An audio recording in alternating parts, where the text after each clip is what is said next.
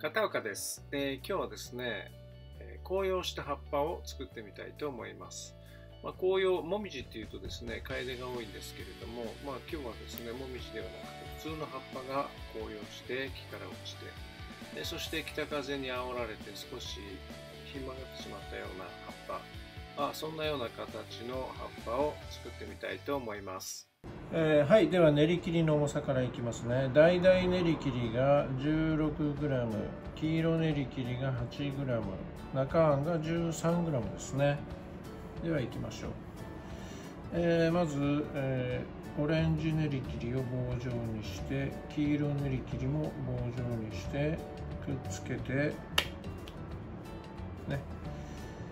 えー、そうですね。じゃあ黄色から赤に向けて親指で撫でつけます。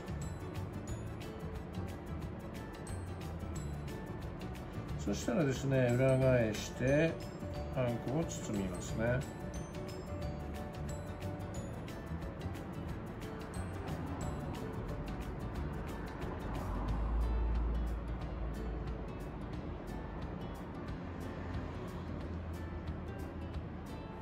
ちょっと乾き気味なんで割れていますがその時も撫でつければ大丈夫です。ね、はい、そしたらですね葉っぱを作りますので、えー、っとこっち側が先端にしましょうかね。赤い方が先端になりますそして、えー、黄色い方が根元になりますねはい平板に、えー、つけますね。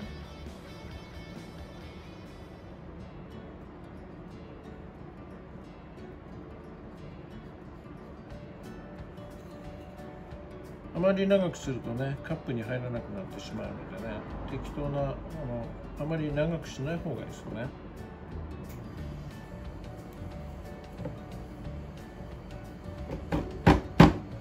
おくっついた。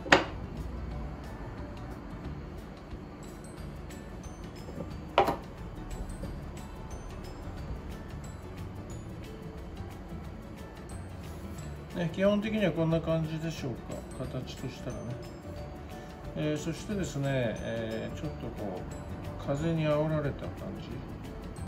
風でこうひん曲がった感じちょっと出して。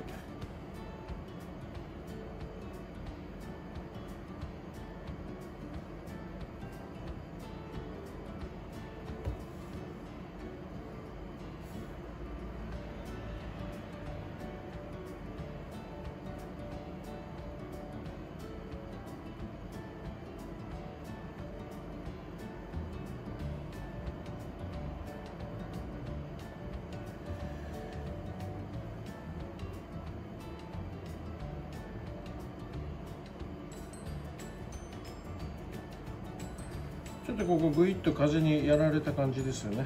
ここグイッと風にやられた感じを出しました。そして最後葉脈をつけますね。